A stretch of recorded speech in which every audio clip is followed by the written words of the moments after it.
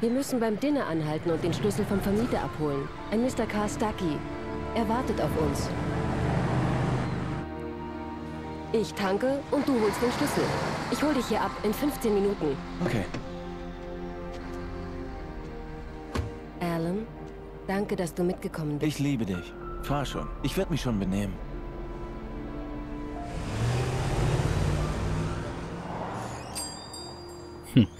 Orte wie diesen hatte ich schon fast vergessen. Standbild von ihm. Kleinstädte, in denen jeder jeden kennt. Willkommen im Dear Diner. Hi, können Sie mir vielleicht helfen? Ich suche jemanden, der heißt... Mr. äh, Wake? Alan Wake? Oh Gott, ich bin Ihr größter Fan. Das hören Sie bestimmt dauernd, aber ich bin es Es wirklich. ist nett, dass Sie das sagen. Rose. Rose, ich suche Mr. Stucky. Carl Stucky. Carl? Ah, natürlich, Mr. Wake. Er muss zur Toilette gegangen sein und ist sicher gleich wieder zurück. Ich fasse es nicht. Ich habe alle Ihre Bücher. So viel zur Diskretion, ja. Ich habe den Starschnitt vom Buchladen bekommen, aus dem Schaufenster.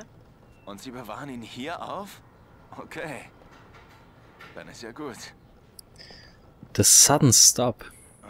Toll. So viel zum ruhigen Urlaub. Probieren Sie den Kaffee. Aber ich bin unschuldig, wenn Sie ihm verfallen und Ihnen das Herz bricht, wenn Sie wieder abreisen. Unser Okay. Rusty ist kein Mensch mehr. In seinen Adern fließt nichts als schwarzer Kaffee. Da Ja. sind wir schon zwei. Das geht mir auch so. okay. Äh, was ist denn mit euch, Jungs? Gefallen, Kleiner. Ich könnte jetzt wirklich ein bisschen Musik brauchen. Coconut, Nummer 6 in der Jukebox. Klar, machen wir. Ich würde ja selbst gehen, aber mir sind beide Beine eingeschlafen. Schlechte Durchblutung. Oh yeah. Ist das ja, dein. Ernst? Coconut schon wieder? Das ist einfach widerlich. Und so willst du ein Rocker sein? Unglaublich. ah, Nummer 6. Jo. Lassen wir mal laufen. You put the dime in the coconut, drink them both up. glaub bloß nicht, dass ich dich nicht im Schlaf ermorde, bloß weil wir Brüder sind. Ach, das sind Brüder, okay. Was ist denn mit ihr los? Gehen Sie da nicht rein, junger Mann. Sie könnten sich im Dunkeln verletzen. Ich schaffe das schon, Ma'am. Ich wollte nicht warten. Ich wollte Stucky finden, den Schlüssel holen und dann nichts wie weg. Die Kellnerin ging mir auf die Nerven.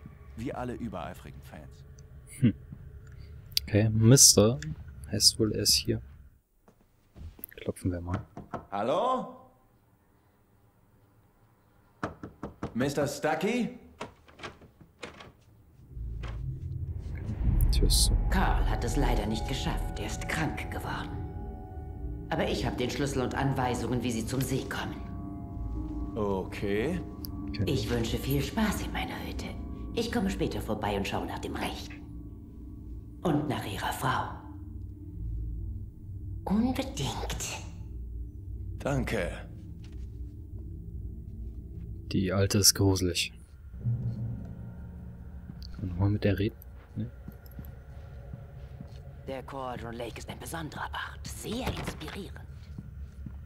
Hm, Ja, schön, das hoffe ich doch. Aber wir sind ja hier, um Urlaub zu machen. Jawohl, Inspiration Junger ist gut. Im Dunkeln kann man sich leicht verletzen. Hat die da eine Lampe Die dabei? muss repariert werden. Da muss ich Sarah sagen, dass sie sich um das Licht an der Wache kümmert. Das ist schon zu lange fällig. Hm, okay.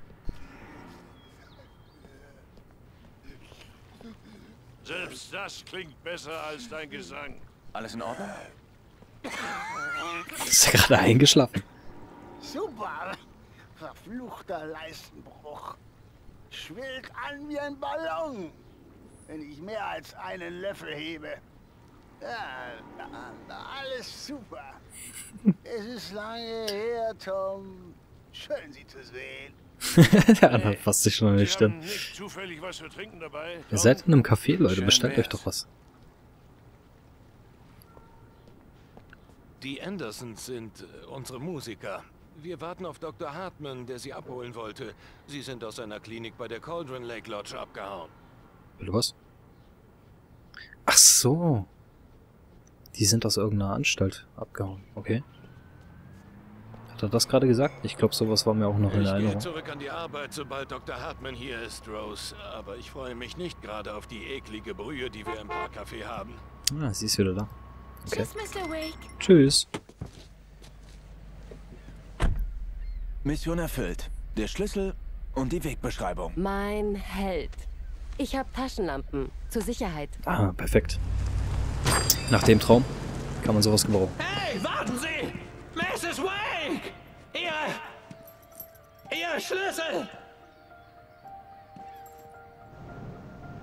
Okay, er hält sich so die Birne, als hätte er eine dann drauf davon gekriegt. Jetzt hat er kurz wieder geleckt. Das ist, glaube ich, echt am PC, dass die Spiele zwischendurch lecken. Ich kann nicht sagen, der warum. Wir wollen hier Urlaub machen, Alice. Ich denke drüber nach, wenn wir wieder zurück sind, okay? Okay. Wir können später drüber reden. Ich wollte gar nicht darüber reden. Ich wollte meinen Kopf in den Sand stecken.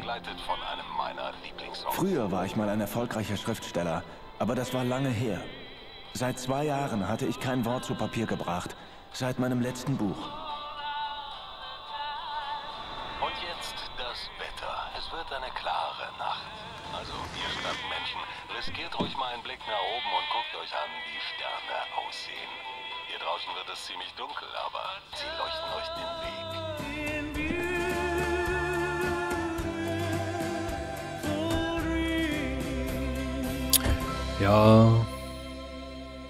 Hoffe mal, die Musik kann ich drin lassen. Den kleinen Ausschnitt. Ist immer ein bisschen problematisch, kennt ihr ja. Divers Isle. Wow, das ist fantastisch, Ellen. Ja, nicht schlecht. Keine Angst, Schatz. Wir sind drin, bevor es dunkel wird. Und ich habe die Taschenlampe. Ich weiß. Ist schon gut. Alice hatte eine Phobie. Angst vor der Dunkelheit. Ich wollte Ah. sicher gehen, dass wir vor Sonnenuntergang ankommen würden. Ja, zur Angst vor der Dunkelheit fällt mir natürlich auch Alone in the Dark ein. Wo es heißt, es gibt einen Grund, warum wir Angst im Dunkeln haben.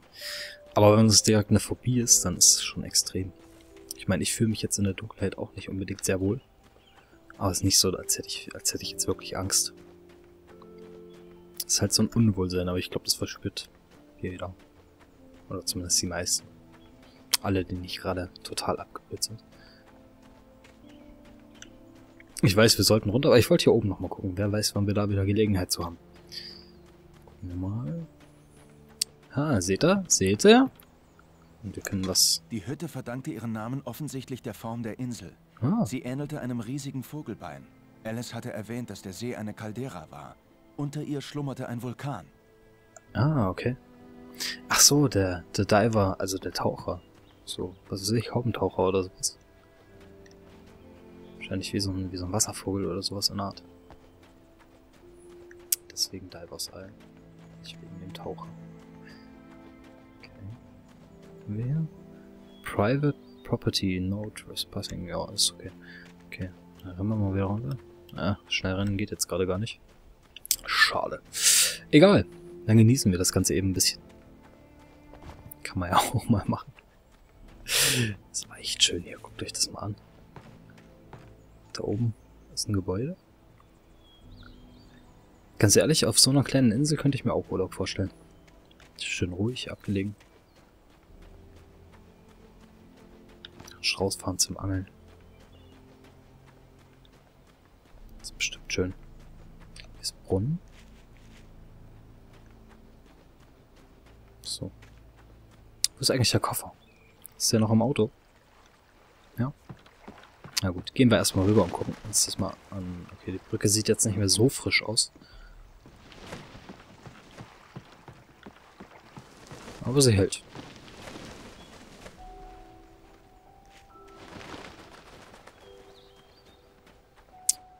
Butler Cap Cabin. Okay.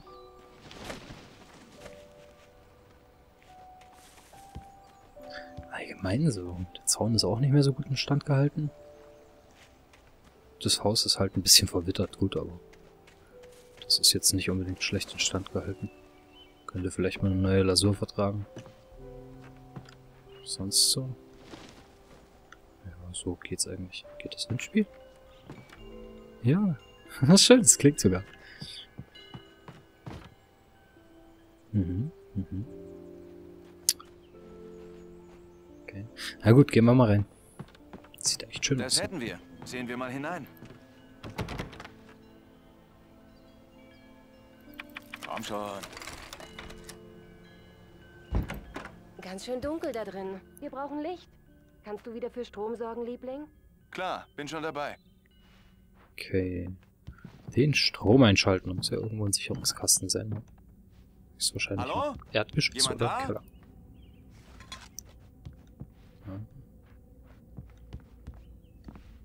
Mal hier. Mhm. Ist zu. Da ist auch zu. Ich dachte, wir sollen hier schlafen. Also, Urlaub machen. Wir können da verschlossene Türen drin sein. Gucken wir mal hier. Einen Moment lang suchte mich wieder der bedrückende Albtraum von der Fähre heim. Oh, Mist.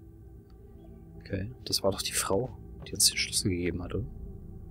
Ich musste den Strom in der Hütte zum Laufen bringen. Irgendwo auf der Insel musste ein Sicherungskasten oder Generator sein. Okay. Den haben wir doch auf dem Plakat in der, in der Hütte im Traum gesehen, ne? Das müsste ein Generator. Die Hütte sah aus wie eine Zeitkapsel aus den 60ern, wenn nicht noch früher. Ja, 1970 steht drauf. Juli 1970, ist schon eine ganze Weile her. Okay. Dann gucken wir noch mal raus. Draußen könnte ja... Was ist denn? Ein Radio. Die Hirschfestbesucher trudeln langsam ein. Ich habe gerade einen auf der Fähre getroffen, einen berühmten Künstler. Mal sehen, ob ich ihn noch zu einem Interview überreden kann. Jetzt dran an die Telefone. Hallo, Sie sind auf KBF FM. Hallo Pat, hier ist Rose. Hallo, Rose. Was haben Sie auf dem Herzen? Ich weiß, wer der berühmte Künstler ist. Ah. Alan Wake, nicht wahr? Er ist mein Lieblingsschriftsteller. Rose, ich... Habe ihn gerade im Diner gesehen. Ich freue mich so sehr, dass er hier ist. Er freut sich bestimmt auch hier zu sein. Tja, Freunde, die Katze ist aus dem Sack. Hier ist Batman auf KBF FM und jetzt etwas Musik. Schön. Viel zur Diskretion. Ja, das habe ich mir vorhin schon gedacht. So viel zur Diskretion. So. Ich hoffe, dass die Musik leise genug ist, dass YouTube nicht wieder meckert. Was können wir denn jetzt angucken? Das Wasser war klar, aber Hm. dunkel. Es sah sehr tief aus. Hm. Schön, wie er es immer erzählt, ey. Halt ganz der Schriftsteller. ne? Okay, gehen wir wieder hoch. Und suchen nochmal nach dem Generator. Ja, ja, Generator. Genau den suchen wir. Und ich versuche die Musik zu übertönen. Genau, und ich glaube, das ist mir jetzt auch ganz gut gelungen. Ah, okay. Ach klar, Stromkabel folgen. Ha, hätte ich auch selber drauf kommen können. Danke, Rose. Rose? Heißt die Rose? Du heißt Rose, ne? Nee, oder? Klar, das ist Rose. Ich bin der Doktor. Ähm, hm, Keller? Okay. Nee, folgen wir mal dem Stromkabel. Ist vielleicht gar nicht so dumm. Ähm. Ah ja, Generator. Ähm, Tür, Tür, Tür, Tür. Ja, Pistole. Tür, Tür. Ist hier eine Tür? Wahrscheinlich schon dreimal, dreimal dran vorbeigerannt. Ernsthaft jetzt? Wo ist denn hier die Tür? Das hier ist doch eine Tür, oder? Oder muss ich hier echt durchs Fenster einsteigen? Kann ja nicht sein. Ach Gott. Das Stromkabel führte zu einem alten Generator. Okay. Ah. Ah. Cooles Minigame. Es werde Licht. Alter, so wie der wackelt, würde ich dem aber nicht mehr lange vertrauen. Oh, guckt euch das Ding mal an, ey. Allein die Abgase, Abgase, die das Ding ausstößt. Ich will gar nicht wissen, wie laut der eigentlich ist. So, Die Schatz. Lichter sind an. Gute Arbeit, Liebling. Ich mache mich frisch und mach's mir bequem. Okay, Okay, ich schaue mich ein bisschen um. genau das hatte ich vor. Ja, viel Spaß. Oh, ähm, so das? Es war ein schöner Ort. Hm. Ich sagte mir, dass ich hier entspannen könnte und schlafen und meine Arbeit vergessen.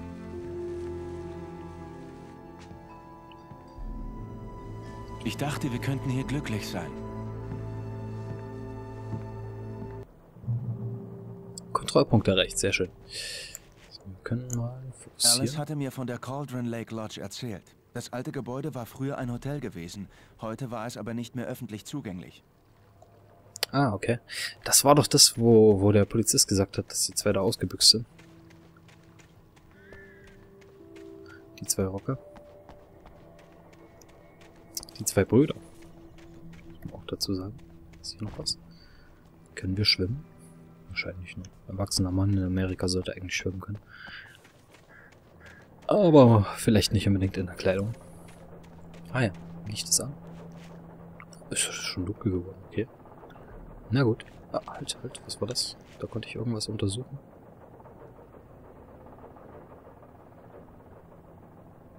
Oder habe ich mich jetzt da vertan?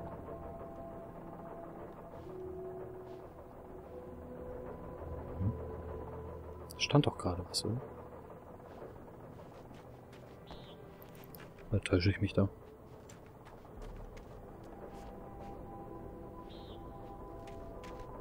Ja, eine Axt. Na gut, gehen wir mal zu alles zurück.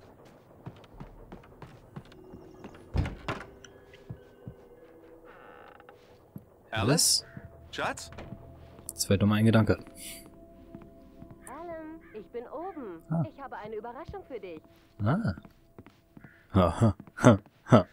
Oben Schlafzimmer, Reizwäsche. Ah. Ja. Kaffee. Oh. Oh. Ich glaube, das wird eine schöne Überraschung. okay, gucken wir mal. Also, äh, hallo? Ich bin nicht die Überraschung. Sie ist im Arbeitszimmer. Sieh nach. Achso. Hm. Okay. Schade. okay, äh, gucken wir mal nach. er hat genau dasselbe. Ich mag ihn. oh, Überraschung. Schön. Alice, was soll das? Ich muss dir ein Geständnis machen. Ich habe gedacht, dass du ihr vielleicht schreiben könntest, dass dir der Ortswechsel hilft. Verdammt, Alice! Du, äh, alle wollen das. Hey, hey, hey! Hör doch mal zu! Es gibt hier einen Arzt, Dr. Hartman. Ich kenne sein Buch. Er hat hier eine Privatklinik, spezialisiert darauf, Künstlern zu helfen. Willst du Vielleicht- mich jetzt einweisen lassen? Nein, so war das nicht gemeint. Das ist... Alan? Okay. Alan! Lass es! Lass es einfach! Ich will es nicht hören! Verdammt, Alice! Hä? Gott verdammt! Er hat es gar nicht wusste, mitbekommen, dass das dunkel geworden ist. folgen. Ich brauchte Zeit für mich, um nachzudenken.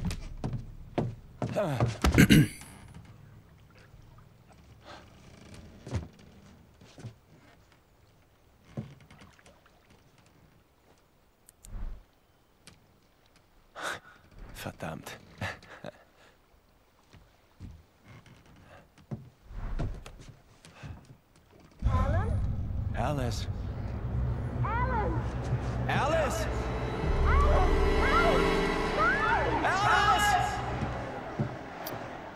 Alice, nicht Alan. Äh, nicht, nicht. Rose. Wie kam ich denn auf auf Alice? Okay. Wo bist du? Hilfe! Alice? ich Wow, wow. Alles okay, ich komme. Phobie vor der Dunkelheit. Nicht lustig. Hilf mir! Alan! Bin schon da. Alice? Alice? Hä? Oh. Oh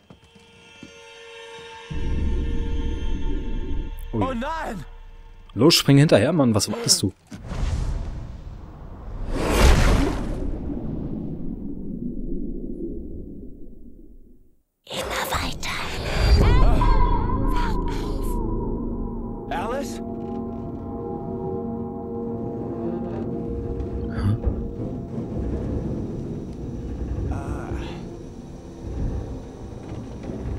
Nach dem Unfall im Auto aufzuwachen war, wie einen Albtraum gegen den nächsten zu tauschen.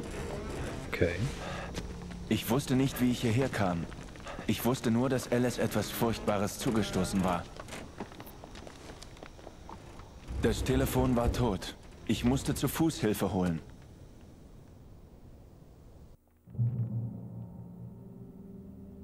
Ich will nur mal eben noch was machen. Nur aus dem Grund, weil es ein Let's Play ist. Ich nehme an, dass es das Auto-Aiming ist. Um im Let's Play anständig Bei durchzukommen. Alice Sachen war ein Buch.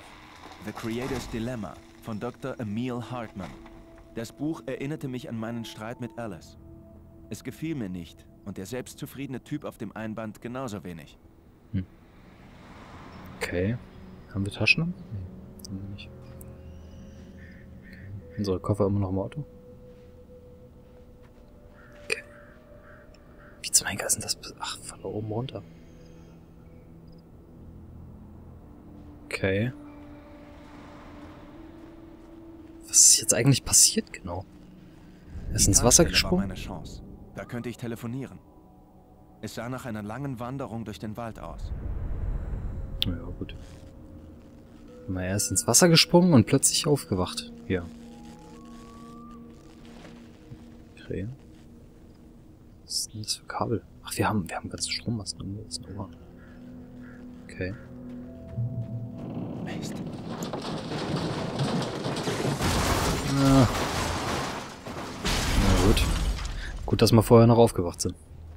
Okay, schauen wir mal weiter.